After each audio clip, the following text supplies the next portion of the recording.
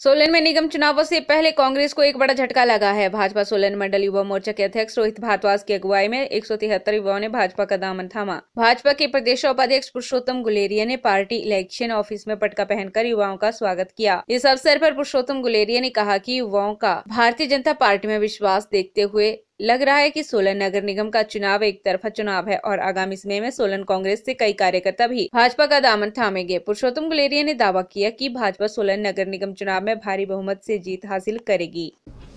एक सौ तिहत्तर युवा युवा मोर्चा के माध्यम से भारतीय जनता पार्टी की सदस्यता ग्रहण कर रहे हैं, इसलिए हमारे लिए गौरव का विषय है।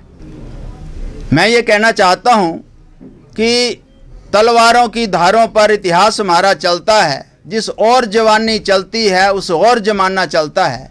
ये जो आने वाला चुनाव है, इस चुनाव में आज का ये दिन, आज के दिन के माध्यम से जो युवा शक्ति निस्वार्थ भाव से भारतीय जनता पार्टी के विचार के साथ जुड़कर, परिवार के साथ जुड़ रही है, आदरणीय श्री जयराम ठाकुर जी की नीतियों के कारण, आदरणीय श्री नरेंद्र मोदी जी की नीतियों के कारण इनके मनों के ऊपर जो प्रभाव पड़ा है, उसके द्वारा आज ये भारतीय जनता पार्टी में जुड़े हैं। इनका स्वागत, अभिनंदन।